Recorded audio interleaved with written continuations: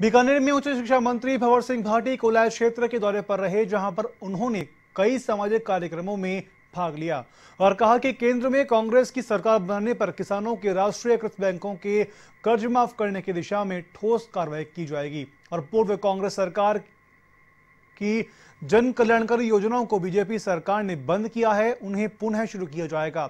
और बीकानेर लोकसभा क्षेत्र से कांग्रेस प्रत्याशी के टिकट के बारे में कहा कि कांग्रेस के राष्ट्रीय अध्यक्ष राहुल गांधी के सूरतगढ़ दौरे के बाद जिसको टिकट मिलेगा उसी के समर्थन में कार्यकर्ता जुट जाएँगे।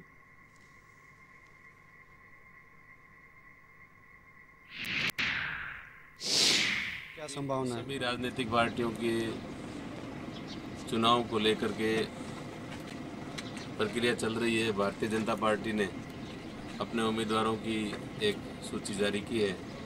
कांग्रेस भी आगामी दो तीन दिनों के बाद, अभी 26 तारीख को परसों राहुल गांधी जी का सूरत सूरतगढ़ में कार्यक्रम है और राहुल जी की यात्रा के बाद में टिकट तय करने की जो प्रक्रिया है, उसको अतिशीघ्र पूरा कर लिया जाएगा। और मैं समझता हूँ कि बहुत जल्दी ही राजस्थान की टिकटों का भी लगभग एक्सरसाइज पूरी कर ली गई है और अतिशीघ्र टिकट वितरण का। देश और दुनिया की हर छोटी बड़ी खबर के लिए सब्सक्राइब करें एवन टीवी न्यूज़ साथ ही बेल आइकन को प्रेस करें ताकि आप पा सकें ताज़ा खबरों की नोटिफिकेशन